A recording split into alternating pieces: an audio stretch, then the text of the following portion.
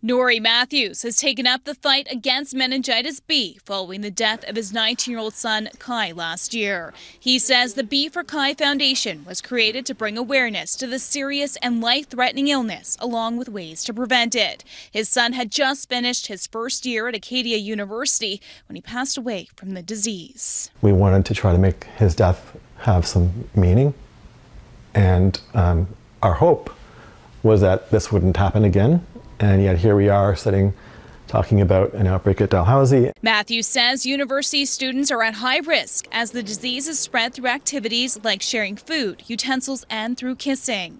B for Kai is our platform to raise awareness and to let every parent know that their, their daughter or their son is likely not protected against meningitis B and that once you know about it, you can make a decision to vaccinate if you if you want to. Vaccination clinics have been running on site for students and staff at Dalhousie's Shirreff Hall, where the outbreak has been declared.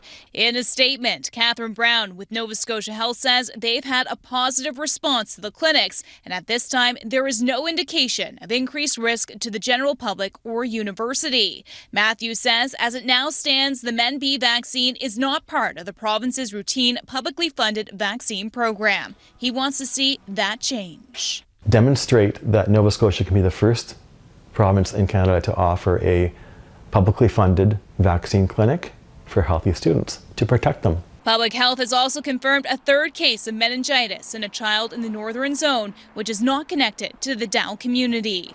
Last month, another Halifax University, St. Mary's, reported a student had died of a suspected case of meningitis.